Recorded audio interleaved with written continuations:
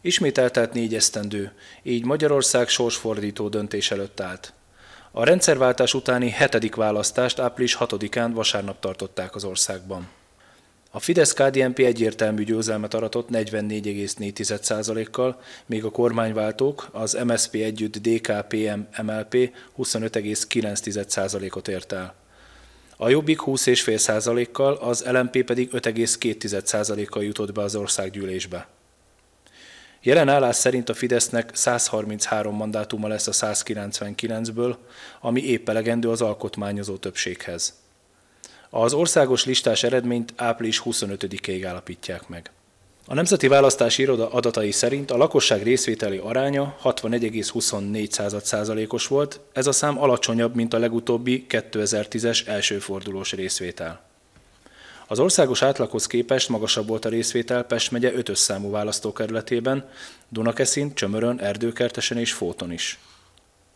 A fidesz KDNP előtje Tuzson Bence lett az új országgyűlési képviselő több mint 41 kal A második helyen a baloldali ellenzék jelöltje a volt környezetvédelmi miniszter Szabó Imre végzett 30 kal harmadik lett a jobbikos Nyíri Márton 16 kal negyedik pedig az LMP színeiben induló Juhász Péter a voksok kicsit több mint 7 kával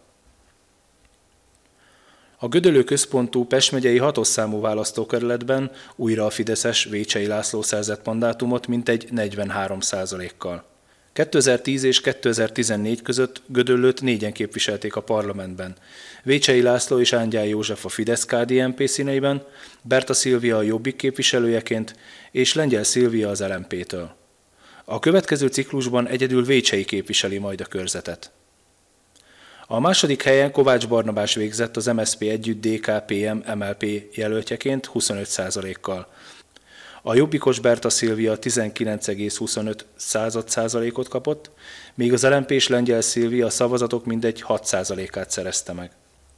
A választókerületben 64,95 század százalékos volt a részvétel, Gödöllővárosában még magasabb 68 százalékos.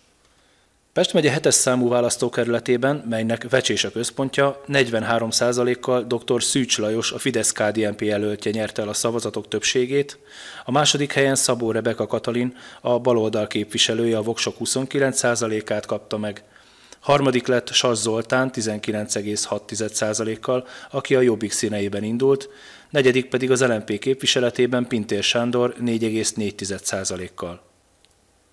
A 9 számú választókerületben a Vidékfejlesztési Minisztérium államtitkára Cerván György, a fidesz KDNP jelöltje végzett az élen, aki kicsivel több, mint a szavazatok felét szerezte meg. A második legtöbb voksot ebben a kerületben a Jobbik kapta, akinek képviselője Csanádi Gábor Ferenc a voksok közel 25%-át tudhatja magáénak. A baloldali ellenzék jelöltje, dr. Baja Ferenc, a szavazatok 19,5, az lmp Mikus Csaba pedig 2,8%-át kapta.